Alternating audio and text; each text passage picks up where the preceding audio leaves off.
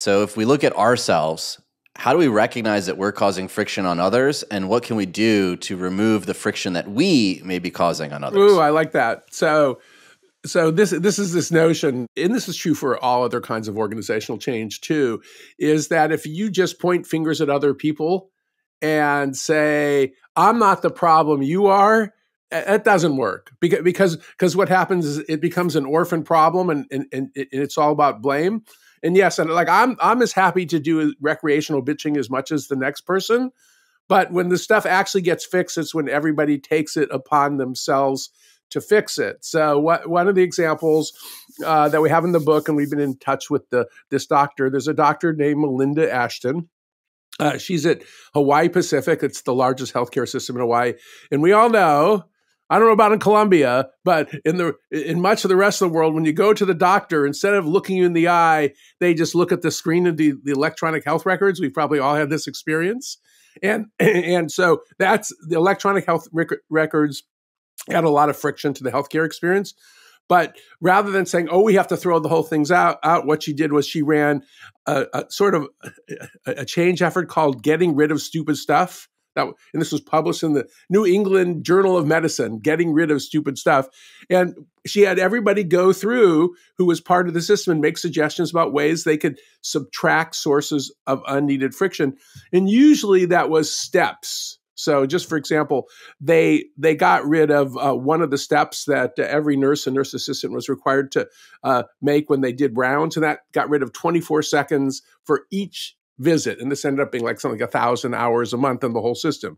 And to me, that's a pretty good model of rather than just complaining about it and pointing fingers, we all work together to find the the problems and then there was a group who had the power to implement the solutions and and that's the opposite of it's a simple example, but that's the opposite of teaching it, of treating it as an orphan problem. And it's also a sign that, uh, gee, I, I, have some stories about things that get fixed suddenly and all at once. Uh, but in real life, this is it's like a discipline. It's like go like exercising once doesn't seem to work. If you do it once a year, it doesn't seem to work. You get you, you got to do it as part of a discipline. Well, that brings up an interesting concept that you have in the book, which is chicken effers and hollow Easter bunnies. can, can, can I use the word fuckers in this? Am I allowed? Absolutely. I don't, I don't, You're allowed. so so this comes from my friend Becky Margiotta. Becky She's t- she went she went to West Point was when she went to West Point a long time ago and she was one of the only women there. She was she's like five one and you know it, it, and I love when I talk to Becky is it talk about friction. The way she said she got through the hazing at West Point when she was a first year, she said my view was that the upperclassmen who were taunting me were just really funny. So I'd mostly get in trouble for laughing at them. So that's Becky.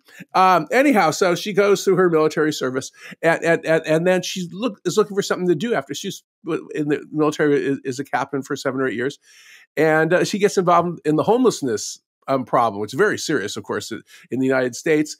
Eventually, she led a campaign that found homes for 100,000 homeless um, Americans and has done all this stuff. But one of the things that she learned in the military was that when something went wrong, and, and, she has a story that she kind of wakes up her commanding officer at um, three in the morning, and she come, looks at Becky blearily, and Becky describes the problem, and the commanding officer says, "Well, who's fucking this chicken?"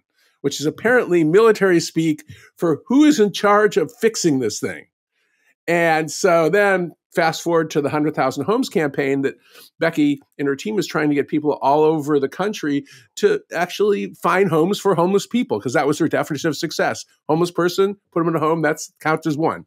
So, uh, and there were some folks where people would just talk and talk and talk and talk and do nothing. She called them hollow Easter bunnies you know the kind the of people worst. The, the, the, worst the people who use talk as a substitute for action they're bullshitters and she started giving this little speech about who's fucking this chicken and people love that speech and so they st- so they gave this award to people who actually got stuff done which was they and they gave him a little tin um, chicken, a rooster actually, because that's what fucks with chicken is a rooster, right? Sure. That's my understanding of how these things work. And uh, so anyway, so so that's that's Becky, and Becky is totally a character. I mean, uh, and, now, and now she's helping other uh, large nonprofits. Uh, like the Gates Foundation with other sorts of large scale change. But that's Becky. And, and, and so, and, and the lesson in sort of in Without the Obscenities is that in in organizations that are good at fixing friction, uh, rather than using talk as a substitute for action. So the bullshit, the plans, the meetings, the speeches, the training, which is all nice and it does motivate action. But when it becomes a substitute for actually doing stuff, that's when we start having a red a red flag that we're you know just uh, spewing out nonsense and not actually getting stuff done.